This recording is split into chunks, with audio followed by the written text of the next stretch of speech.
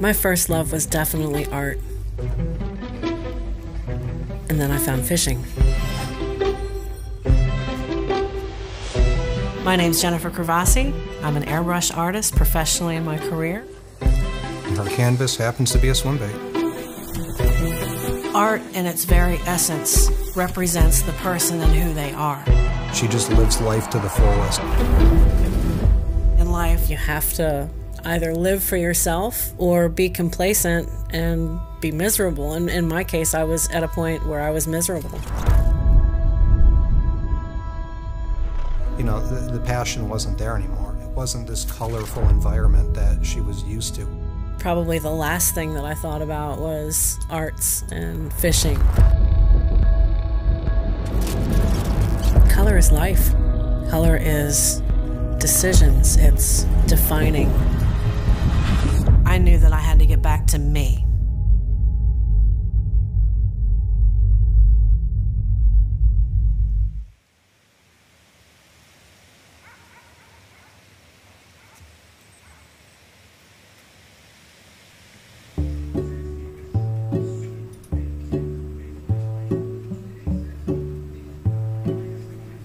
My name's Jennifer Kravassi, and I'm a feature artist at Bullshad Swim Baits. I have my own company, Jekyll Bait Company, and I'm now a feature artist for Catch Co.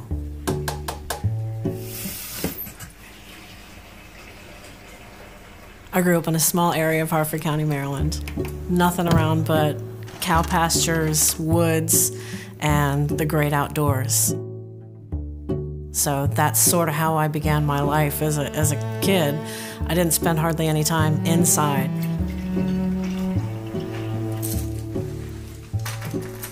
Um, grew up with a single parent, but a lot of love in the household. My mom didn't have a whole lot of money, so she held down two jobs. She went back to school and decided she wanted to get her arts, Associate of Arts degree, and would bring me to college classes with her. The professors would teach you know, just as much to me as they would to her. Um, ceramics class, sketching. I was developing film by the time I was in fourth or fifth grade. So I really got in tune to the arts. It was an escape for me.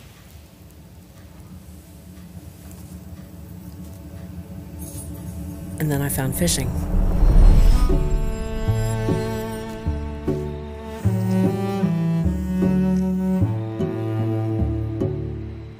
When I was about seven or eight years old, my mom took me camping. There was this one particular day where I had just learned how to fish. We had gotten to the point in the trip where it was pretty much time to go. I had run out of worms. We couldn't afford to get another pack of worms. And I had this little pack of bubble gum. I had Bubblicious, I think it was a watermelon flavor. It was bright pink. So I was frustrated with my mom. I really wanted that last cast.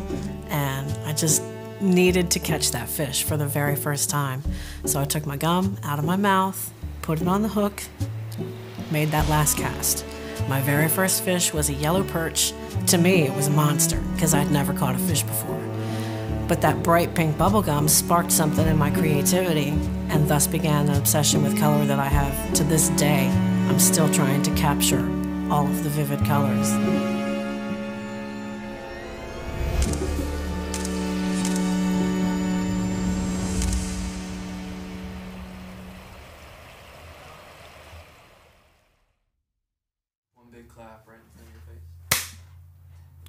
Need it louder or Did you, did you get that in both frames? Okay. good? So Jen has this obsession with color.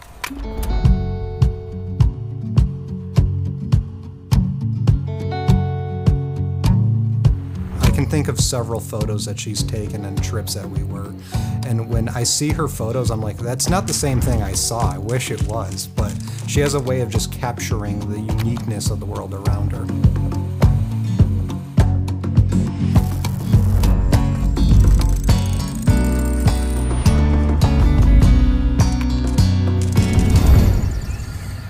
Good morning. Yeah, that was a trip. we fish every chance we get. That's that's pretty much like the only thing we really do. I'm getting cleanly schooled by Harrison up here on the front of the boat. Oh my God, we've been through it. Yeah. Well, oh, remember when we were salmon fishing on the Pulaski River? My name is Harrison Sprague. I've been friends with Jen for about the last 10 years. Yeah, if you want to get to Jen, the one thing you'll say to her is you can't do that or stop or anything that you say that kind of would lead her to believe that you're trying to hold her back. We were calling you no hooks at Jen because mm-hmm. you so you were going to prove us wrong and you were going to hook the hell out of the next one that bit. And when you did that hook set, you fell into the water and you drifted downstream and me and Dave had to save you. We're full of water. Yeah. Oh my God, I almost forgot about that too. I I forgot don't all how about I didn't that drown until on that trip. Yeah. I had no idea what I was doing. That's how I live my life. If you tell me I can't, I'm going to do it as best as I possibly can. My, my buddy John told me that I wasn't disciplined enough to be in the Army, so two days after we graduated high school, I was at the recruiter's office. Became a medic in the Army, corporate level management, environmental consultant, tagging turtles, tagging sturgeon, asset protection. She was a, an assistant mayor for a small town. I was a musician. I spent a lot of time on stages, in clubs, made two CDs. She's like Forrest Gump. She just has all these very unique life experiences. Cheers. Long friendships. Long friendships. Cheers. Cheers. Art, in its very essence, represents the person and who they are. For me, it's bold colors. I live on the edge. I'm always a what's next person. What haven't I tried yet?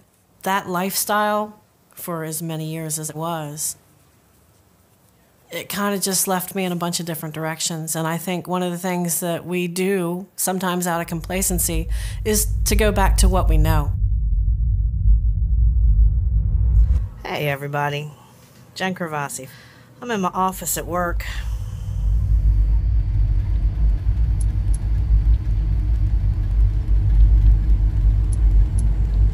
I began a career that lasted for about seven years with a major corporation who is very much active in today's retail environment. Started out as a, an asset protection officer, just busting shoplifters and watching the camera 24 7 when I was there. And at the time, I was deeply immersed in this career. We were in a store that had police officers at the door. It was that kind of a store where we had to. This this one particular event that comes to mind, it was a normal day. I had gone to work just like I went 5 days a week as an asset protection manager. My detective on this particular day brought a subject into the office who had been shoplifting in the store. He was very clearly on something. Don't know what kind of drug it was, but he decided that he was going to not stay in the office. He became wildly violent and ended up putting me and the officer that was on the door in the hospital.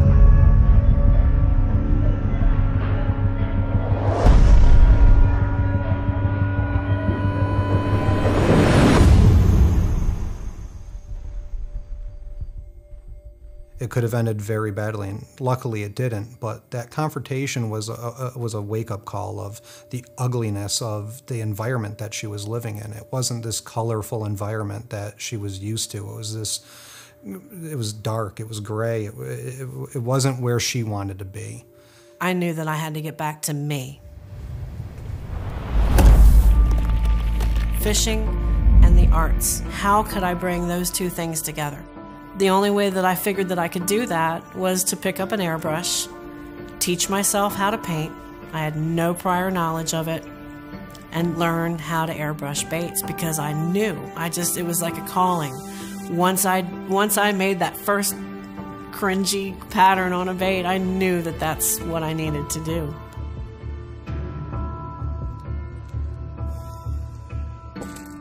That was the way to tie everything that I love together.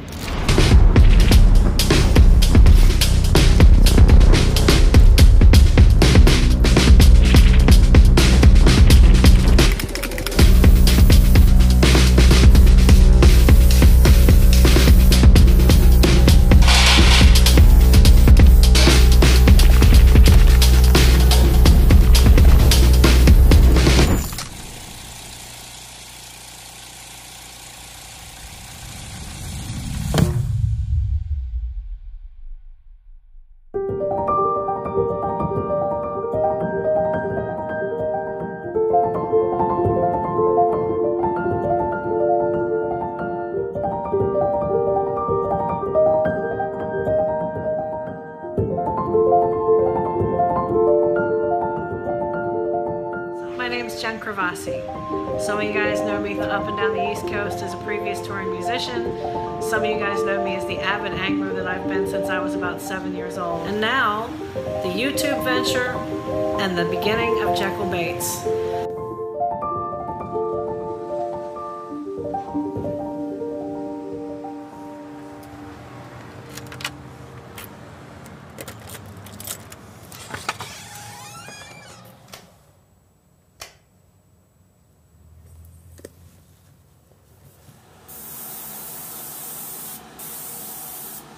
After a period of about three years, I started getting to a level that I felt comfortable enough in my proficiency as an airbrush artist to where I was going with a business. I started getting requests for custom work that I hadn't been getting before.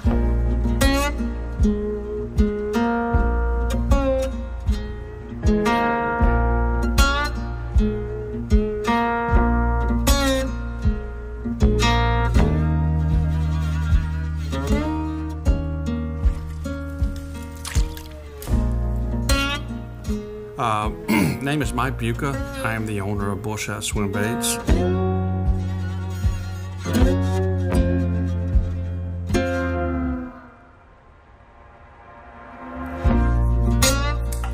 My job as the, as the CEO of the company is is I try to find the direction of the company. What direction do we want to go in? Try to innovate at all times. Know, don't just try to say, hey, that guy's got that market, let's go in there and join him. But I like to innovate and I like to try to uh, create my own niches at times. And I like to look at the, the market as a whole, uh, Facebook, tackle shops, uh, you know, and just see what's out there. Back in 2019, 2020 timeframe, Ross with Catch Co uh, reached out to me about doing a collab with uh, Bullshad. It has been a, a wild ride. The uh, Craftsman video that they did was huge. Uh, it played a very good role in positioning us for growth, I believe.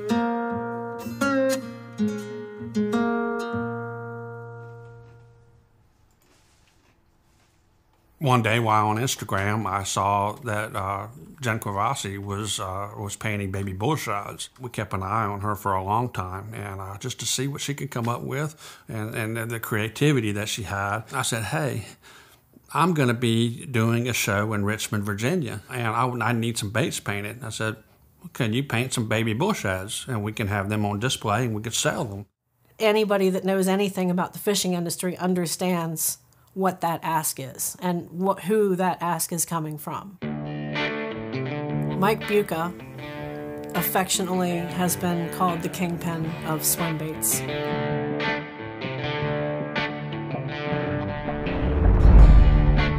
I painted in the baits and he's like, Well, can you go ahead and ship them back to? And he gave me the address here in Georgia. And I said, Well, I'll do you one better. You have a swim bait show coming up in October. How about if I just come out. I'm heading out that way anyways. So we had a chance meeting.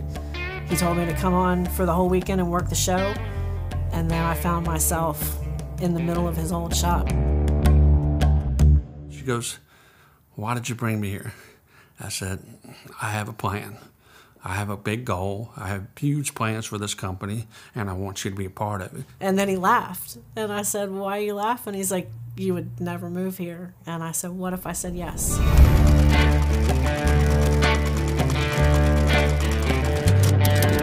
Mike had developed and had already released this baby bullshad, and at this point, a baby bullgill. And it's a completely new way to introduce people to smaller swim baits. It's almost like the gateway drug to the swim bait uh, genre. I picked up, you know, a couple of baby bullshads and started painting them. And then as things progressed with me and Mike, he had given my patterns and shown them to a few people. I had no idea that he had done that until Catch Co reached out to me and said, Hey, we love what you're doing. Uh, we'd like to see some more of your work. I said, This might be something that, you know, we could do, you know, add some custom flair to uh, custom paint to the baby bullshad. And, uh, and, and, sure enough, they reached out to her and uh, they started working on some things and prototype after prototype after prototype they're they're reaching a, a, a closure and, and, what they want to start doing with with Jen, which I think is extremely exciting.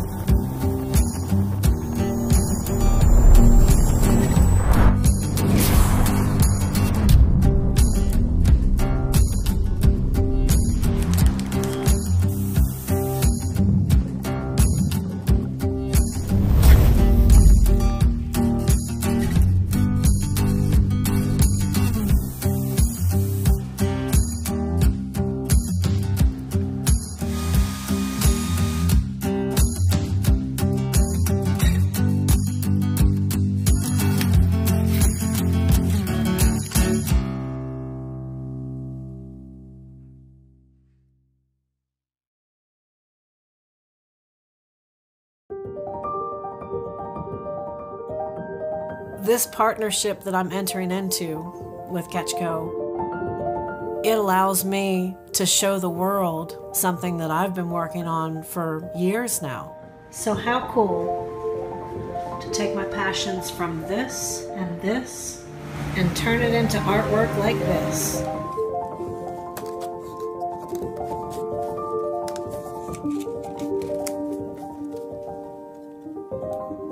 Gave it to me, I, I was expecting her to show me something else other than what she showed me. What she showed me, I'm like, all right, I see the Jekyll bait, but where's the collaboration piece? And she's like, that's it.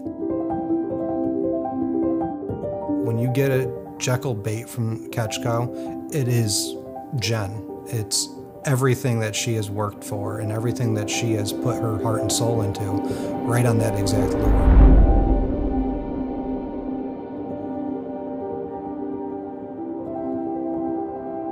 Color and the mind of the angler is everything. You're buying confidence, and that paint pushes them over the edge.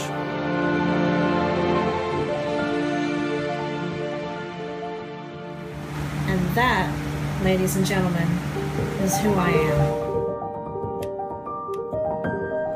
I could not imagine my life without the arts in them and being able to take what I've learned in my past and draw from those experiences and push myself forward in a career that I absolutely love getting out of bed for every single day. That's the color. That's the obsession. That's where I want to be when I'm old and gray.